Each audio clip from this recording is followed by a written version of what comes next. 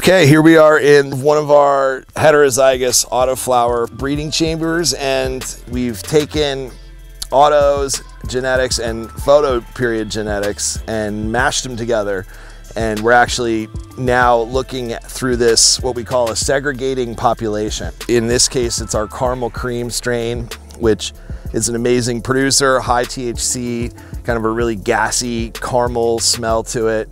It's an awesome strain and we're trying to create a autoflower version of that strain. So we've got some that did not inherit the autoflower trait and then some that actually did. Even within these ones that did inherit the autoflower trait, we still have work to do. We'll continue to hunt through these to find the ones that mimic the, the original strain, the caramel cream strain. By sorting through the progeny of that cross, we actually can then, you know, cross again and further and further hone in on having this beautiful expression that is the caramel cream strain with the convenient trait that is autoflowering. And so we've started the process of, of turning them into male cannabis plants with uh, using silver.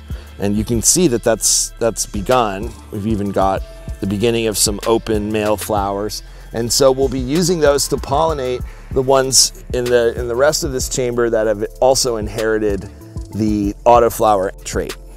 We're able to essentially make any wonderful strain that we have in photo period into an autoflower in, in five generations.